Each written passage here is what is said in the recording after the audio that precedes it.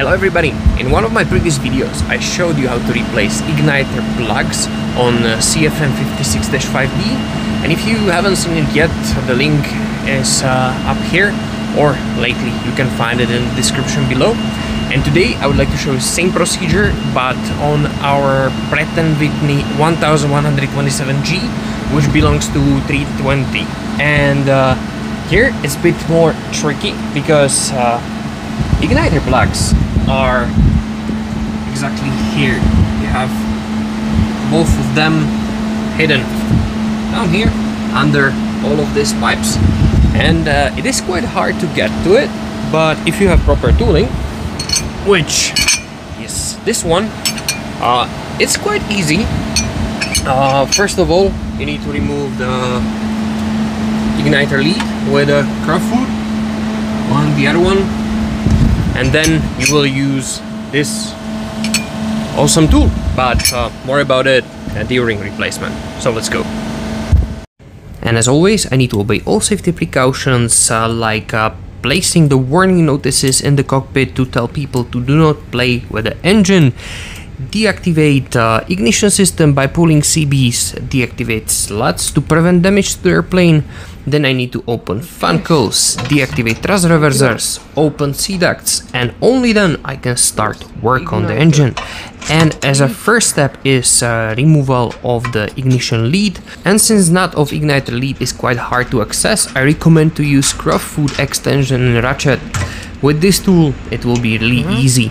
Of course I need to inspect the cable if it is in good condition and if yes, I'll protect it and uh, I'll start with removal of the igniter plug. And for that we must use this adapter. And why is that? Igniter plug is installed on the insert and if you will not use this adapter, you can lose this insert. The igniter plug spacer thickness will need to be calculated again. Be sure that igniter adapter body properly sits on the diffuser case insert, then hold it with a wrench which will use as a contra force against the losing of the igniter plug. This way you can be sure that diffuser case insert remain on position and I can remove igniter plug without further problems.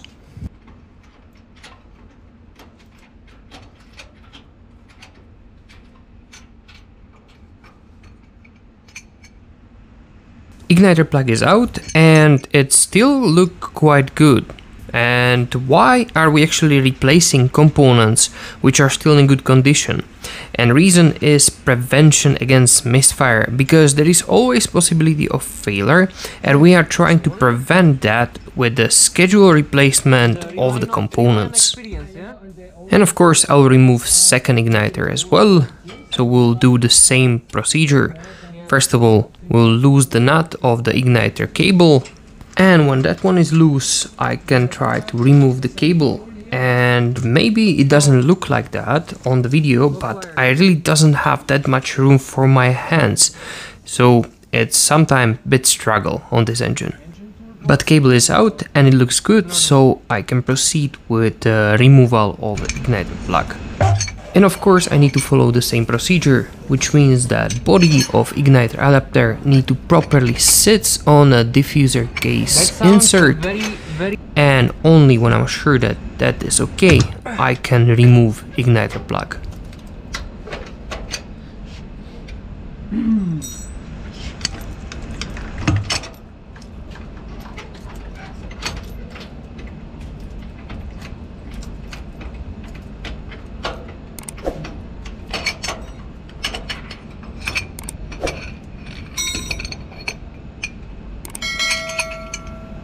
As you can see, second igniter is out, and uh, this one looks as well quite good, but uh, as I said, this is only because of prevention. Uh, since I have uh, igniters out, I can show you the cooling feature on them. Uh, as you can see, they look similar like uh, CFM, but holes are bigger. And how it works, only this top part is in the combustion chamber and this one is uh, in the cool cooling stream and yeah through these holes we send the cold air to the combustion chamber. So this section is cooled all the time.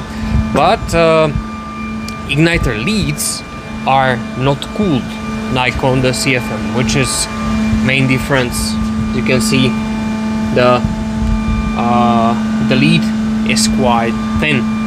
But yeah, most probably this uh, engine don't need it. That was another fun fact and we can proceed with the installation and meanwhile I'll tell you another big difference between CFM and Pratt & Whitney igniter plug.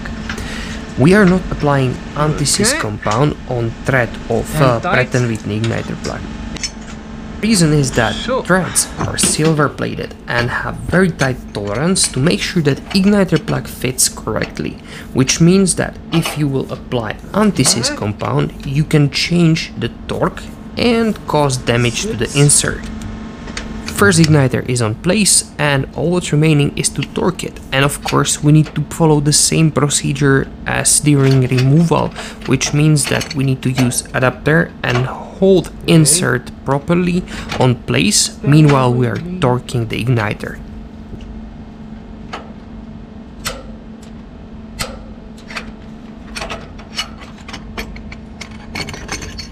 and since igniter plug is on place, we can proceed with the installation of a igniter cable.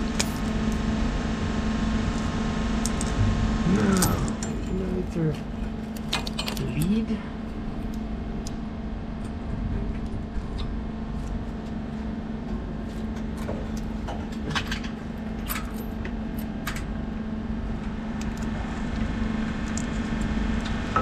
Soda. And of course we need to torque the nut okay. to required volume, which you will of course find in your AMM.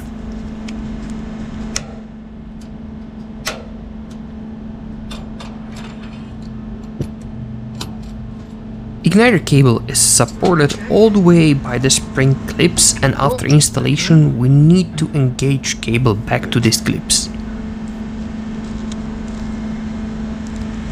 So that's the bottom one now, the top one.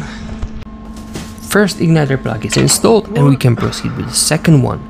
And you must be able to install igniter plug only by hand. Otherwise, you need to clean the thread of the insert by special tool. It's in and we need to torque igniter plug, which means that we need to again use the adapter. And from this point you can actually see how everything fits on the place.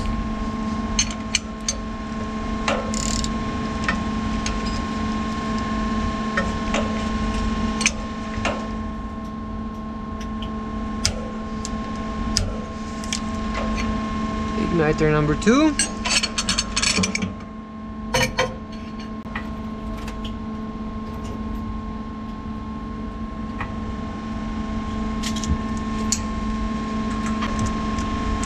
Here as well you can see how challenging is tighten up, the space is really horrible.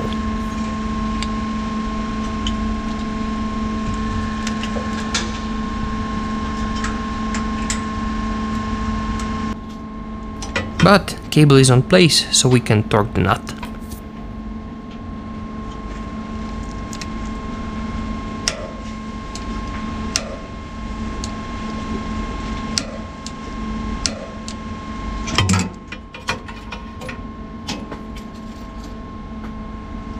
Good thing, okay, tight, installed, good.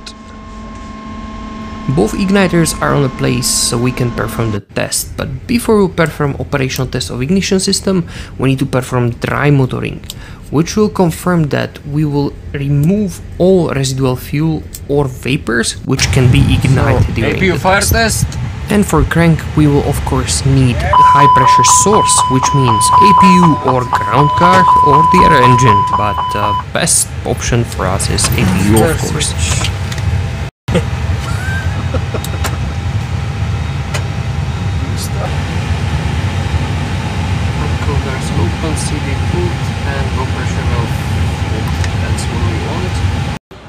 APU is on, which means that we have high pressure source and we can perform dry crank, which means that we will rotate engine without ignition and fuel.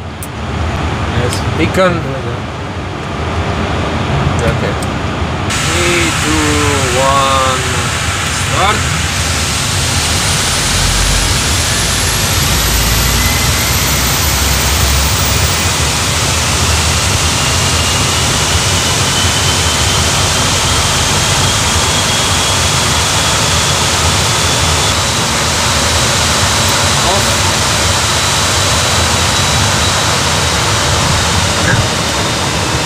Normal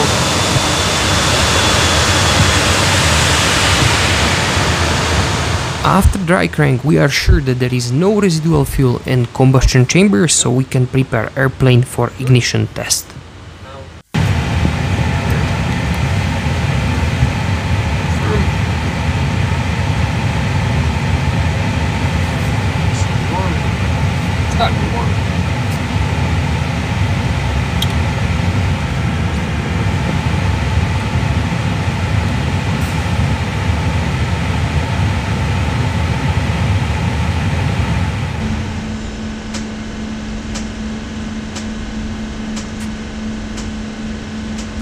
And this is sound of igniter plug during start procedure.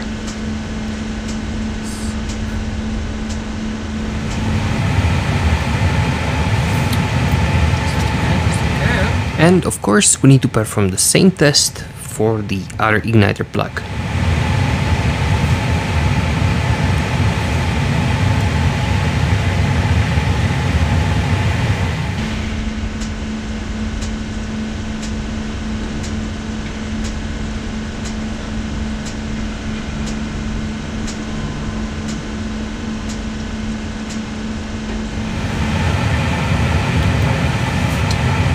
That was test of ignition system, and now all that's remaining is to return aircraft back to serviceable condition. That's more or less all about uh, replacement of igniter plugs on this engine. If you have any questions, as always, please write them down in the comments below. And also, I would like to again ask you to don't use this uh, as a replacement of the maintenance manual. Always use latest documentation and release my manufacturer that's all from my side. My name is Tomáš, this was Aircraft Maintenance with Zeto, and I will see you next one. Bye.